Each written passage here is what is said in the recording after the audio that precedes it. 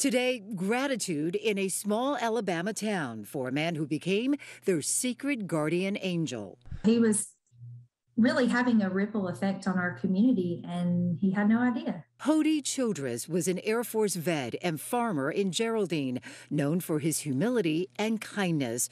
But what people didn't realize is for nearly a decade, he was also donating $100 a month to the local pharmacy to help neighbors in need when they couldn't afford their own medicine. He handed me a bill, and it was folded up. I couldn't see what it was he just said the next time that happens i want you to use this um, to help them out and i want it to be anonymous. I don't want to know who you use it for and i don't want them to know my name i just want you to tell them that this is a blessing from god Brooke Walker, the owner and pharmacist at Geraldine Drugs, saw firsthand how Hody's generosity helped so many people before he passed away on New Year's Day at 80 years old.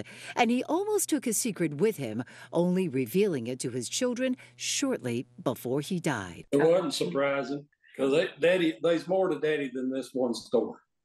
Daddy done a lot for everybody. It's made us want to carry on what he's been doing.